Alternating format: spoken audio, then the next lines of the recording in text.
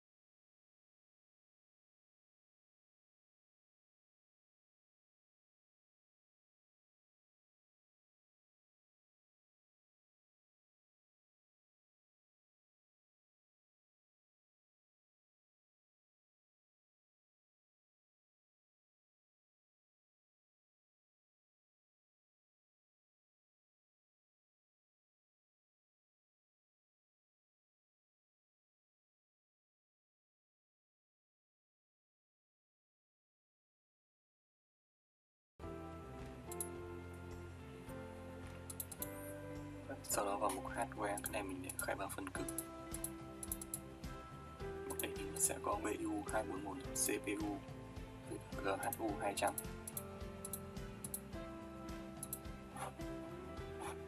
cái khai báo phần cứng này đầu tiên thì mình sẽ chọn. Các module này sẽ chọn là loại gì? 60TE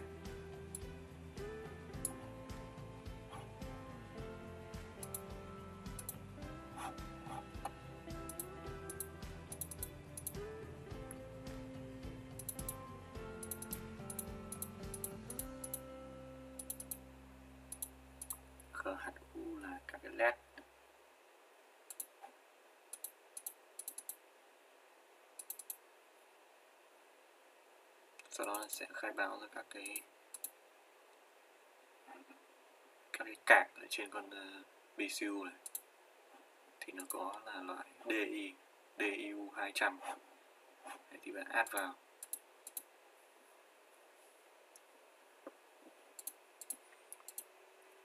Là do slot E. Trên slot E hay F khác là mình gắn DIU hay là DOU thì mình sẽ gắn vào. Và mỗi con nó sẽ có slot address, ví dụ như cái đầu tiên là 012 ừ. để đánh dấu, cùng loại với nhau thì phải đánh dấu mà. Sau đó DOU 012 ví dụ mình đánh dấu đây. Cái cuối cùng là TMU 220 là cái cạc dùng cho việc đo lường lấy các tín hiệu analog.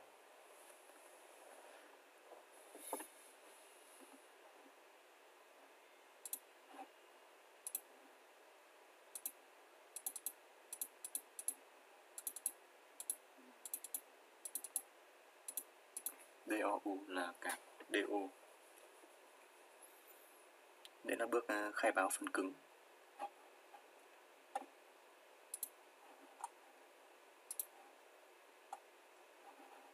SCS và các cấu trúc. Nếu mà bạn muốn à, cấu hình thêm cái phần à, ví dụ như là mốt bớt. Để đọc thêm các cái đồng hồ thì mình sẽ khai báo thêm cái computer. Legacy network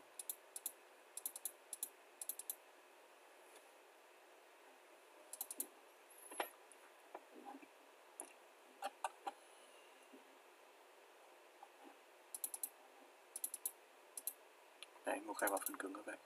Tiếp mình sẽ chuyển sang mục size cái phần khai báo. Để cấu trúc dữ liệu. Mình lấy các tín hiệu gì, tín hiệu gì? Thì khai báo đây ví dụ. Ngăn E01 quản lý vậy Tại đây thì mình sẽ khai báo ra các cái phần tín hiệu và các cái phần lập trình PLC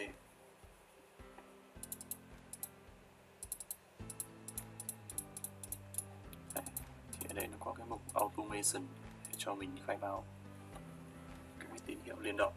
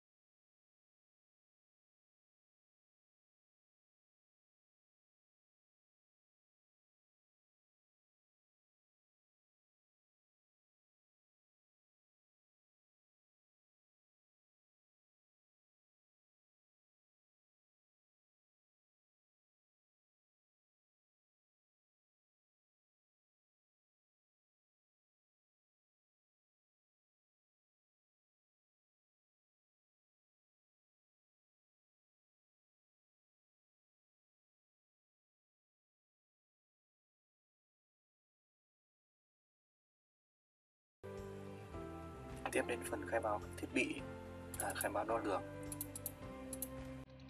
Đây thì mình đã khai báo. Các cái đo lường, dạng analog, map biến.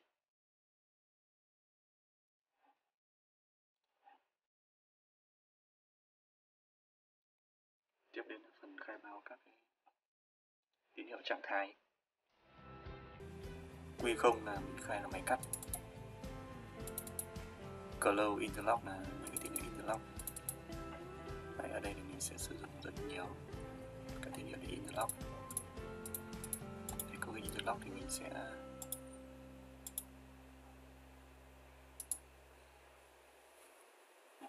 edit thì mình sẽ vẽ những cái logic là khi xếp vào nó không báo lỗi gì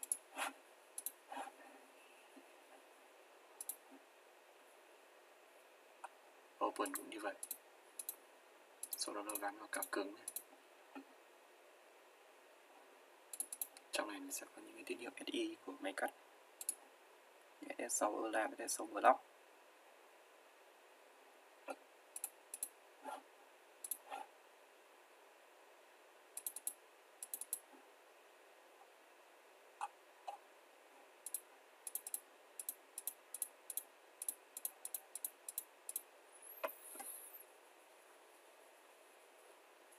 Tương tự là khi mà cái switch gear Savagely cũng như vậy.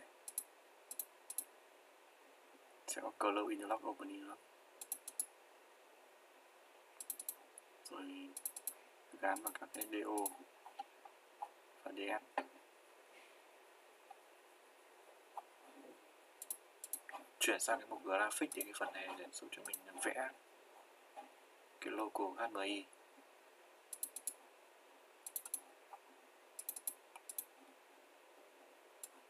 Đấy, click vào đây thì nó sẽ ra.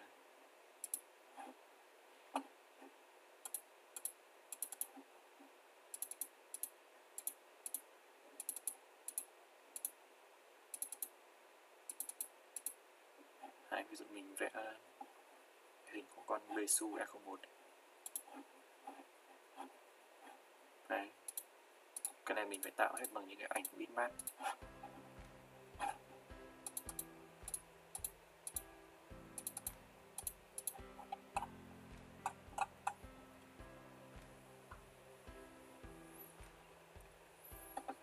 Sau khi ở mình cấu hình xong rồi thì mình có thể xuất ra file ESC 150 Đấy, chỗ export Excel mình chọn vào cái con ờ, BCU xuất ra.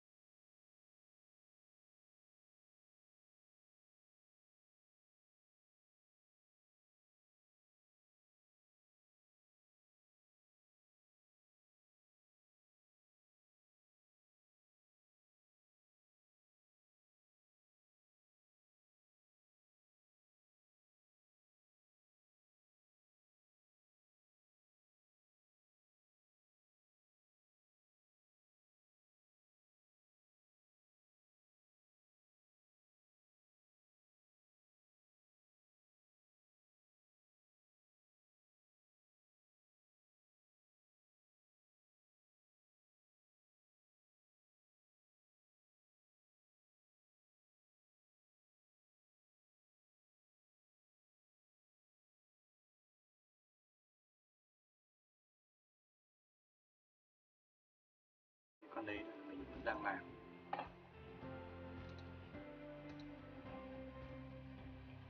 Sau khi check thì